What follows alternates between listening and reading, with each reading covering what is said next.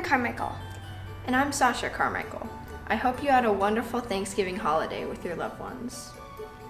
I had my Thanksgiving with my mom, my dad, my sister, and my grandma. My mom made a delicious Thanksgiving dinner. Me and Sascha were making the dessert, and my dad reminded us of what we should be thankful for. Christmas, is coming. The Advent season is on. I love Christmas because I get to spend time with my family. I love Christmas because I can reflect on the days that have passed. Here are this week's announcements. The Christmas toy drive with the Salvation Army will now be accepting donations for kids, especially 8 to 12 years old. Here are some examples. Hey Brynn, what do you want for Christmas? I would like a new tennis racket. Please drop off your donations at the church office from Monday to Friday, 9 a.m. to 5 p.m. Or give online. Today we start the preparations for Christmas. The poinsettia will be available for you to purchase to remember your loved ones. The donated poinsettia with the names of your loved ones will be displayed in the sanctuary for the Christmas season. Please call Ardel at the church office to place your orders. They are $8.50 each. We have many more Christmas activities. Visit our website at glendalefirst.org or call Ardel at the church office. The outdoor in-person worship services are on. Please register on the church website or call the church office. Stick around for the whole month of December for our Christmas celebrations.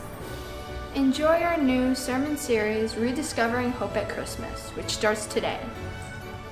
That's it for now. Happy holidays. What about the Christmas story? I know it.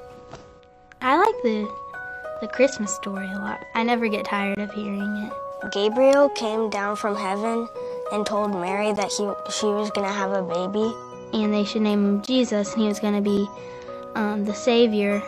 Like whenever the angel told Mary, "You're gonna have a baby," I bet she was like, "What?" An angel just came down and told me that I was gonna give birth to the Savior of the world. That would have scared me a lot. So they set off on a donkey and they went to Bethlehem to be counted. But there was no room in the inn. They couldn't get in the inn because it was all booked up, every inn pretty much in Bethlehem. He was born in a barnyard with all the animals, probably sheep and goats mostly. Three shepherds um, were watching their sheep and resting. And then an angel came over them and said, Do not be afraid. And they followed the star to find baby Jesus. And then the wise men came. And three wise men were very kind to give Jesus a gift. Gold, frankincense, and myrrh. And they were giving gifts for uh, the newborn king.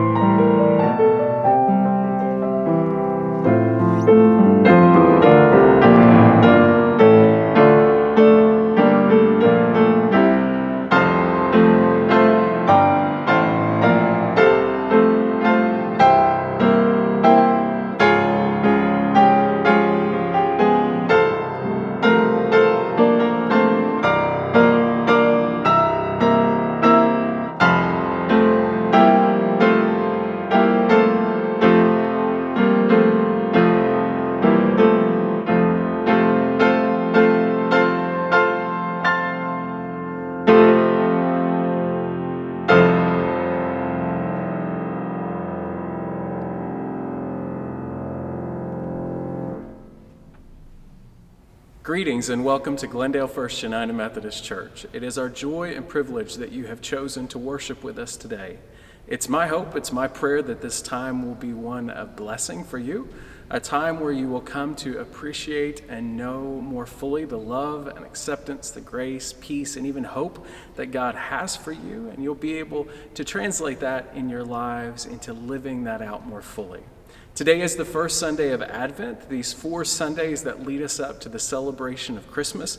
It is a time in the life of the church where we more intentionally focus on preparing ourselves in body, mind, and spirit for celebrating again the birthday of Jesus Christ and also look forward to Christ coming again into the world. I do want to thank all of you who took part in our food drive that we recently had here at the church. It was a wonderful success. We are continuing and having a toy drive that will be starting this week as a way of helping make sure that uh, as few children in our area have to go without having a present to open uh, this Christmas. So we hope that you'll participate in that. Also, just because it's the pandemic this year doesn't mean we're going without celebrating those traditions that are so meaningful in the life of the church. So I encourage you to go check out our new website and see more details about what will be coming up in the days and weeks to come. So, with that, let us pray. Gracious and loving God, we trust and believe that you are present with us through the power of your Holy Spirit wherever we might be as this video is being watched. We ask that this would be a time where we would come to know you more fully, that we would come to experience you more completely in our lives, and all those things and all those ways in which you extend your love to us. But gracious God, we also ask that you would enable us to more fully, to more completely respond to that love by going forth in our lives and being those followers of your Son that you have called us to be. So, gracious God, may this be a time of blessing. May this time be exactly what you desire it to be for your sake. It is in the mighty name of Christ that we pray. Amen. Hear the call to worship. A voice cries out Prepare for God's arrival. Make the road straight and smooth, a highway fit for our God. Fill in the valleys, level off the hills, smooth out the ruts, and clear out the rocks. For our God is coming. Let us worship together.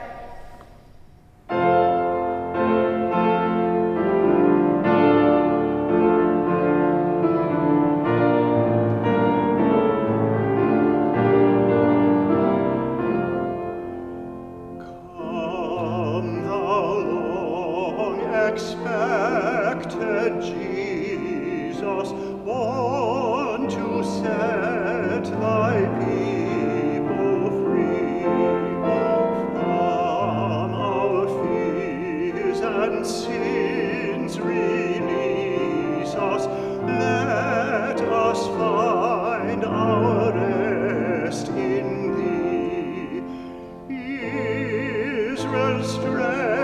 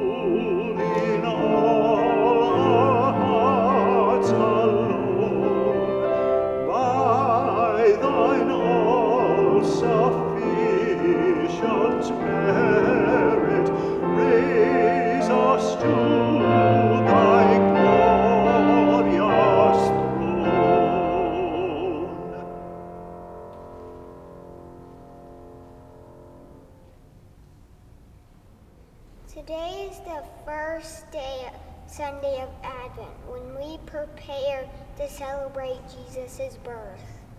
Long ago, the prophets wrote that God would send a Savior. Isaiah said, For a child has been born for us, a son given to us. Authority rests upon his shoulders, and he is named Wonderful Counselor, Mighty God, Everlasting Father, Prince of Peace. God's people waited in hope for Jesus. God sent Jesus to bring light and hope to everyone in the world. Today we light the candle of hope. Go ahead.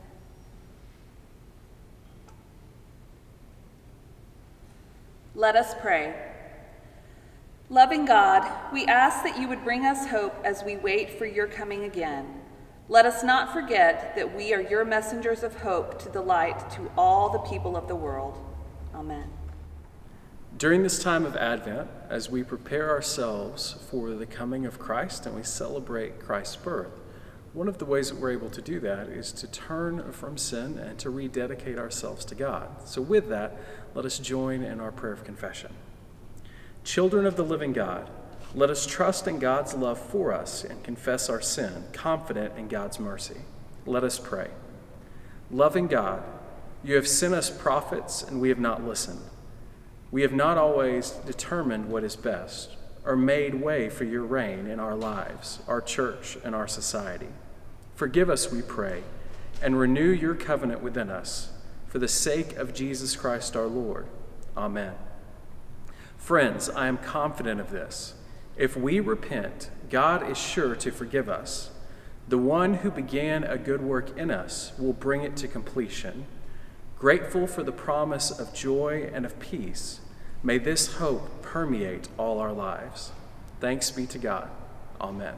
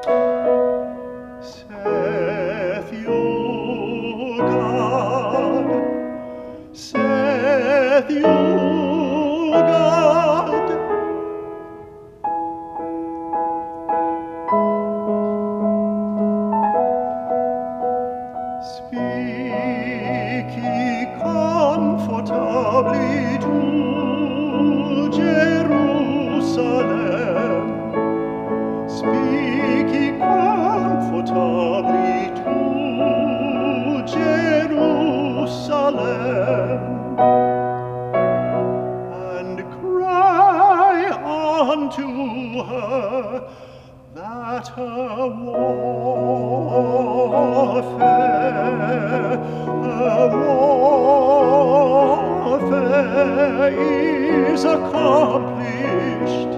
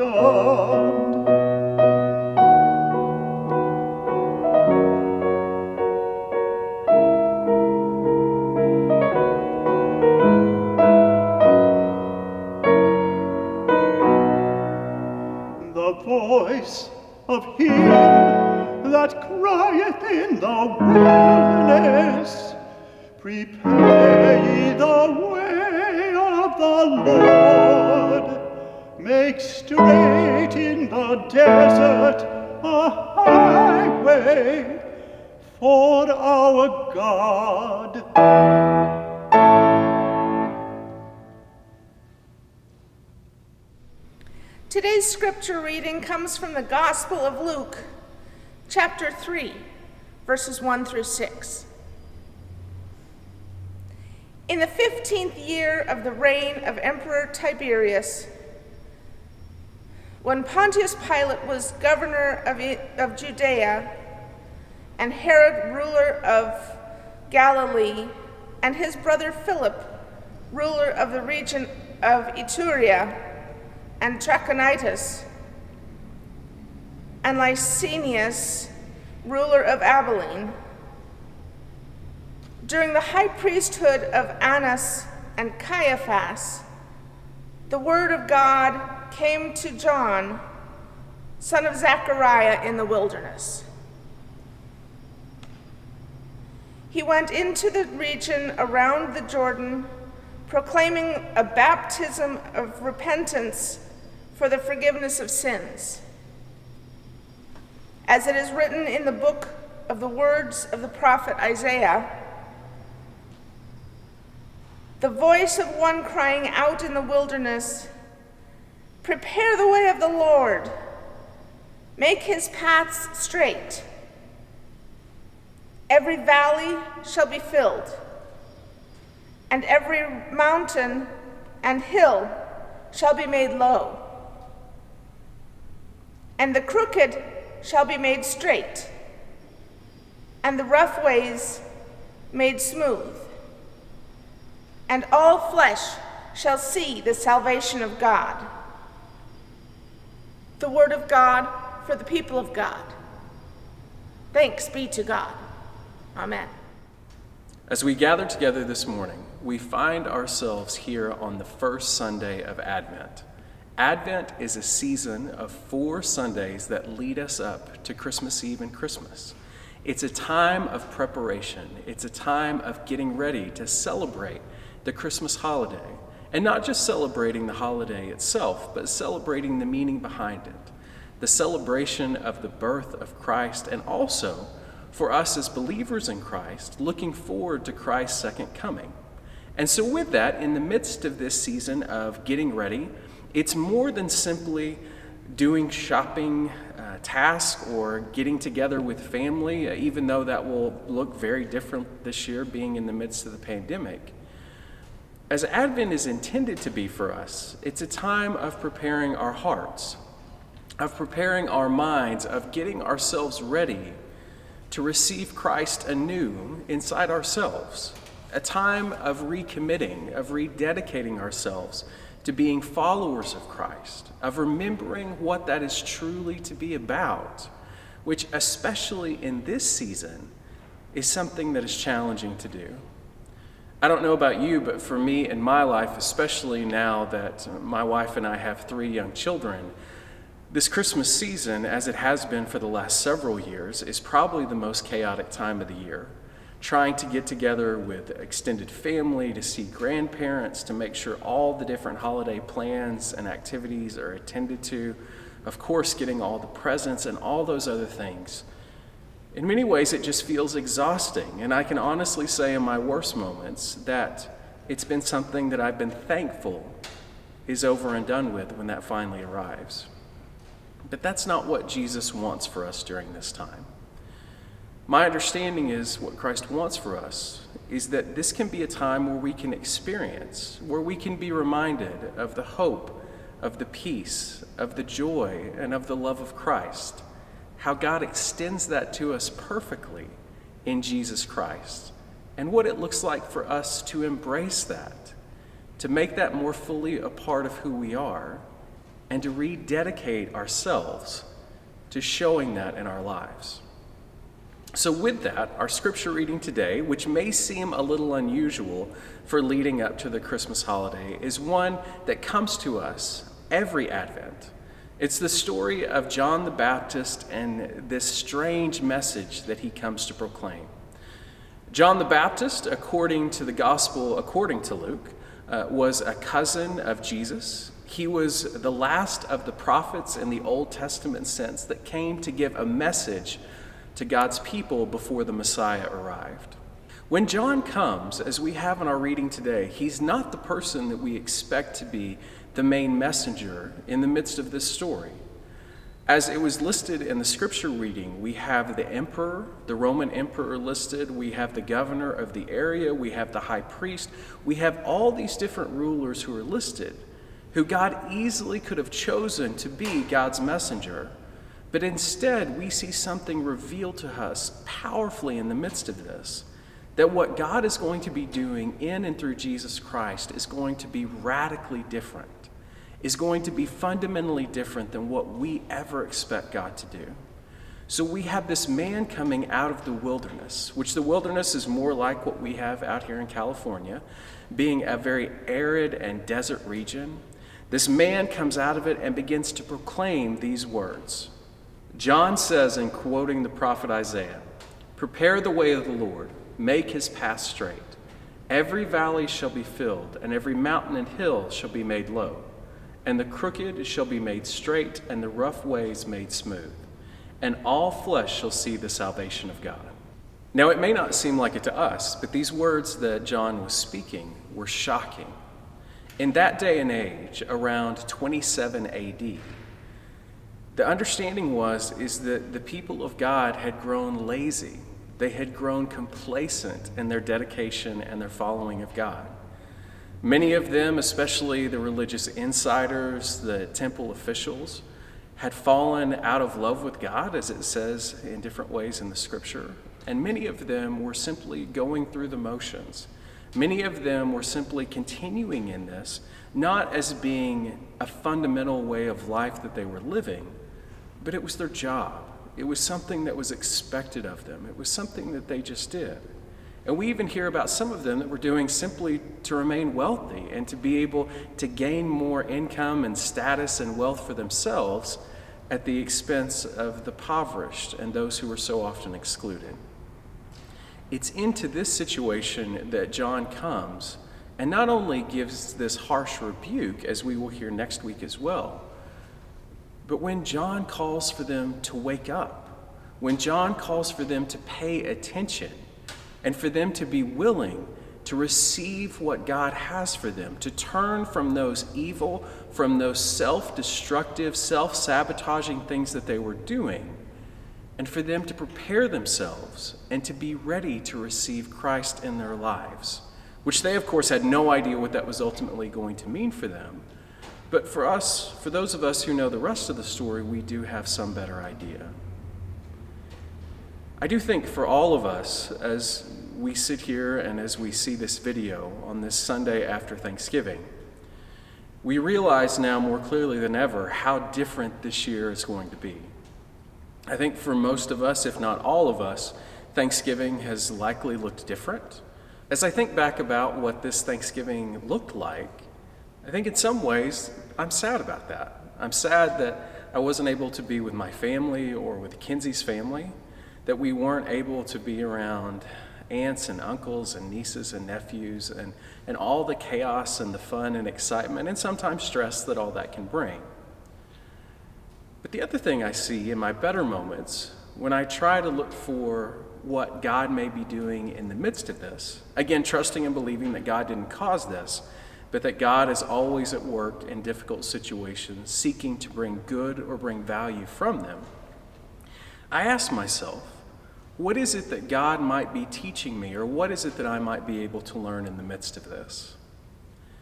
I think in this season, not just with Thanksgiving, but especially in this Advent season, I think for me, and I would encourage you to be mindful, that as we go into this season, with so much of the noise removed, so much of the busyness and the distraction taken from us, which again, in some ways, is very disappointing. But I nevertheless think in the midst of this, we have an opportunity this season to be more mindful, to be more attentive to what this season is really about. What this is that God is seeking us to understand and seeking to reveal in the midst of it. As we look at John and the words he says, he says that things are going to change and all this imagery that is used about paths and roads being made straight, about hills and valleys being smoothed over, what John is speaking to is this idea of the brokenness, of the crookedness, of the all the ways in which we harm and hurt one another, all the systems and systemic struggles and evils that we have built in our society, that Jesus is coming into the world to rectify those things to tear down those walls and those barriers and to restore justice, to create peace and love and equity, and to make the world truly as God intends it to be. Now, we know very well from looking at the world around us that those things have not yet come to pass.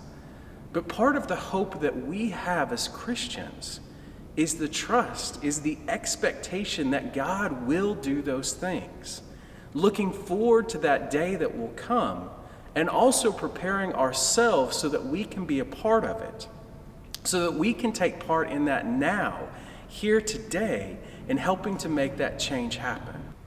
Immediately after the scripture reading we have today and then next week, which is a continuation of the same story, Jesus goes into his temptation into the wilderness. But immediately after that, in chapter 4, Jesus again quotes from Isaiah and reads what many believe to be his understanding of what he is called to do, on what he is seeking, what his purpose is in the midst of his ministry. So hear these words.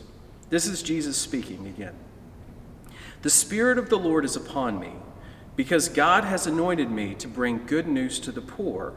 He has sent me to proclaim release to the captives and recovery of sight to the blind to let the oppressed go free, to proclaim the year of the Lord's favor. If that is what Jesus understands himself coming to do in the world, how much does our normal holiday season, how much does our normal Christmas season actually take part in that? How much does what we normally do during this time of Christmas actually further that work in the world? I know there are many of us who give to charitable organizations. I know there are many of us who participate in different missional activities. But I also know, uh, if you're anything like me, I know the majority of my time uh, outside of work is spent with decorations, it's spent with shopping, it's spent with gathering, it's spent with those sorts of things, which aren't necessarily or even not connected at all to furthering this work of Christ. It's my hope for us that during this Christmas season, that God willing will be unlike any other we ever experience in our lives, that this will be an opportunity for us to get back, to focus on what the true meaning of this season is, of this Advent time where we prepare ourselves, where we focus ourselves on what the message and meaning of Christ coming into the world is looking at how we receive that, and then most importantly, how it is that we are living that out. How is it that we're actually participating in that and furthering that, looking towards it, hoping for it, and yet seeking to make it a reality as well? Trusting and believing in spite of all the difficulties, of all the adversities, of all the brokenness that there is in the world that Christ will come again, that all things will be made right, that the roads will be made smooth, that the valleys will be brought high, that the mountains will be brought low, and that God will rectify all that is wrong, all that is broken in our world. May we, as the people of God, have that hope within us and keep it within us always, especially during this season. And that is what I believe this day. In the name of God, the Creator, the Sustainer, and the Redeemer. Amen. Savior of the nations, come. Virgin Son,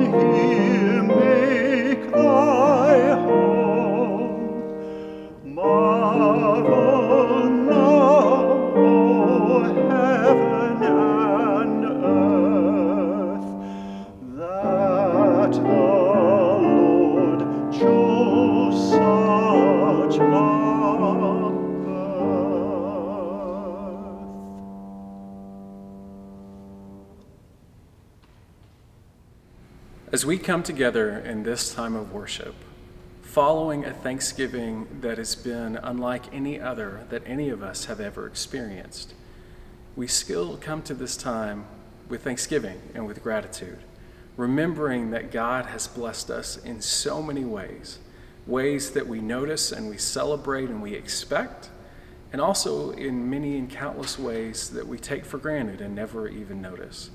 But here and now, as an act of worship, as a part of the way in which we demonstrate our generosity, we demonstrate our faithfulness to Christ, we give back a portion of what we have received. So, with that, let us pray.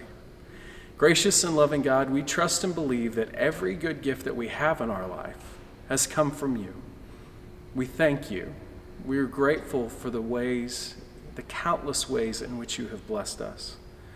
We also give you thanks for this opportunity that we have to give a portion of what has been entrusted to us back to you as an act of worship, as an expression of our generosity and our faithfulness. Bless these gifts that are given this day. Multiply them as only you can, and may they all be used for your glory and for the growing of your kingdom. It is in Christ's name that we pray. Amen. Every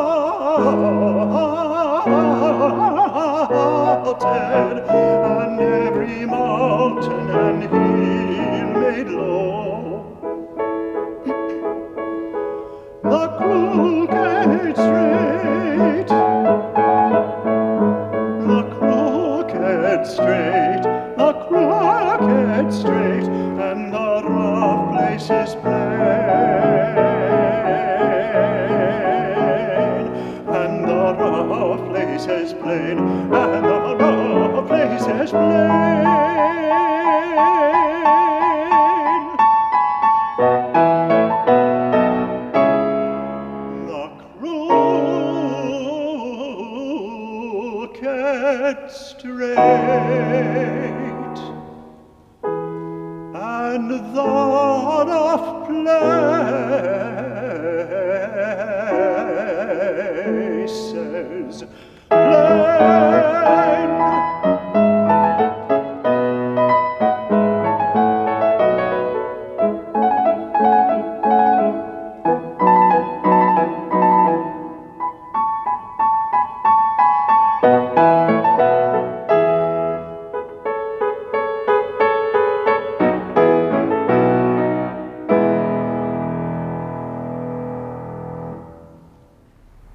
As the people of God, we remember that, that God calls us to pray, to pray to God and to trust and believe that God hears us, that God receives our prayers, and that God is more willing to do that than we even are to pray.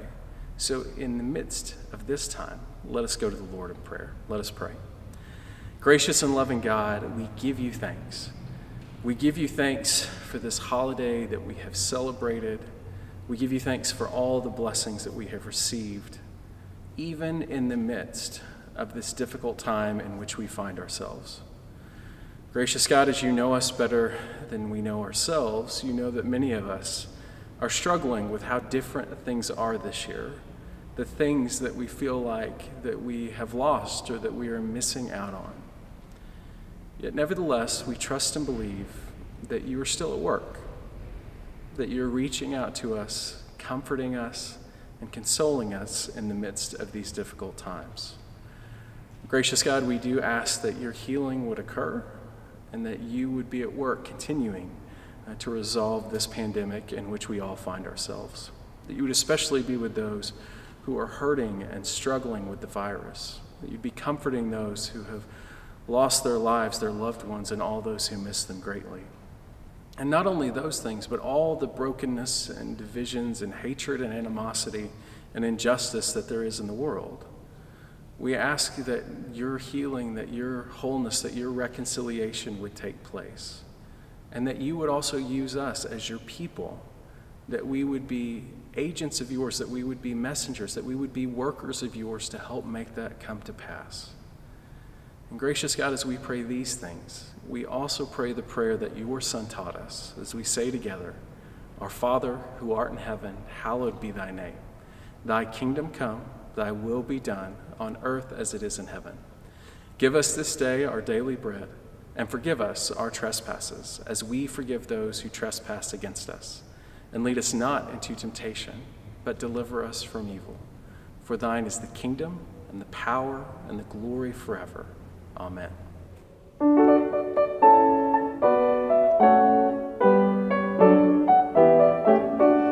People look east, the time is near, on the crowning of the year. Make your house fair as you are able, trim the hearth and set the table. People look east and sing today, love the guest is on the way.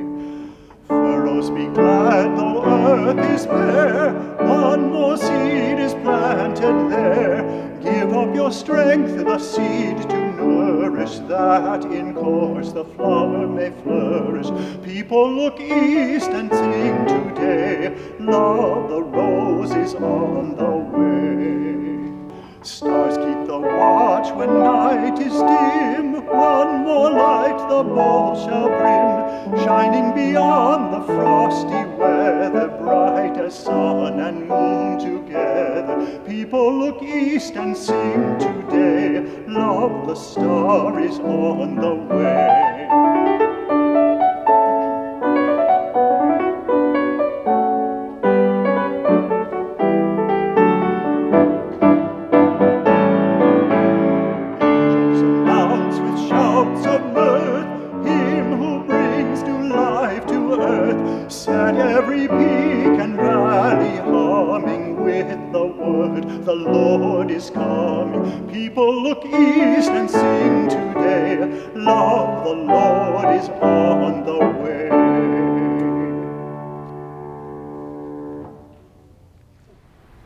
Thank everyone again who took part in our food drive. And remember, please check out this information about our toy drive that we're starting this week.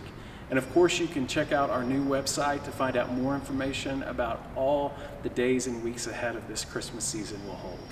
As we go forth from this place, as we go back into our lives, wherever that might lead us, may we go forth as the people of God, not distracted or overwhelmed by what is going on around us but fully committing ourselves to preparing to celebrate the birth of Jesus Christ. In the name of God the Creator, the Sustainer, and the Redeemer. Amen.